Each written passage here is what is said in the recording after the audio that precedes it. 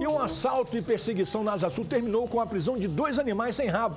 Isso porque a dupla tentou dar uma de João sem braço, se escondendo dentro de uma casa. Um deles fingiu até que usava o computador para despistar a PM.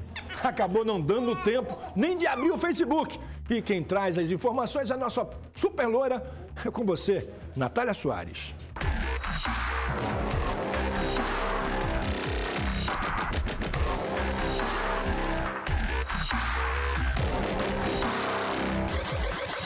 Crime foi por volta das 4 horas da tarde na quadra 404 Sul.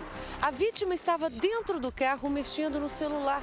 Ela estava na hora do almoço, descansando, quando foi surpreendida pelo assaltante que estava armado. Ele ainda ameaçou a vítima de morte. O meliante chegou e apontou a arma na cabeça dele. Bastante agressivos e ainda ameaçando de morte. Isso, ameaçando de morte, falando que se o carro tivesse corta-corrente ia voltar e ia matar ele. Eles estavam muito nervosos mesmo. E aí entregou tudo, entregou o celular, entregou a chave do carro e o vagabundo foi embora. Nós recebemos a informação que tinha acabado de ocorrer um assalto na 404 Sul, é, de um veículo Agile vermelho. E aí nós pegamos a DF-005, que é a via que liga o Varjão até o Paranoá, e nós nos deparamos com o veículo vindo em alta velocidade. A gente fez o retorno, começamos o acompanhamento, sirenamos, mandamos parar, e ele se negou. E continuamos o acompanhamento, ele quase colidiu com o veículo de frente, que ele pegou a contramão, porém ele só veio a parar aqui na quadra 5.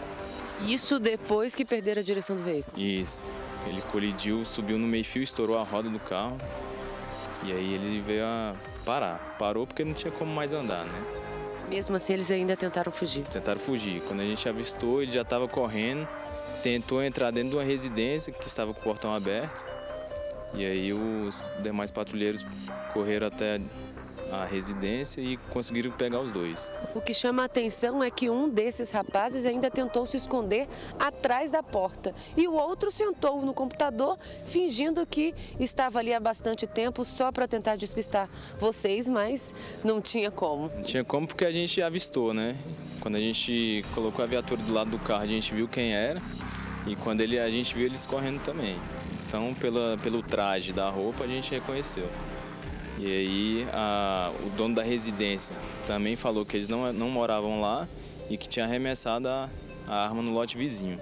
Eles também arremessaram uma mochila que estava com a roupa e um boné que, que eles cometeram assalto para tentar despistar também. Eles jogaram a mochila em cima da, do telhado de uma casa e o revólver no outro lote lote vizinho.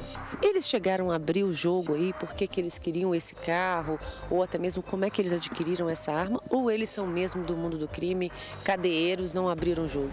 É, não, eles são cadeeiros, já, já conhecidos da polícia.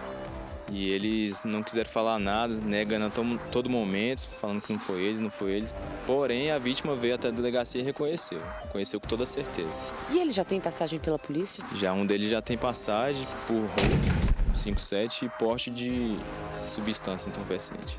Ramon Alves Martins Jorge e João Pedro Menezes dos Santos foram presos e trazidos aqui para a sexta delegacia de polícia. Eles foram reconhecidos pela vítima como os autores do assalto. DF Alerta falou, tá falado.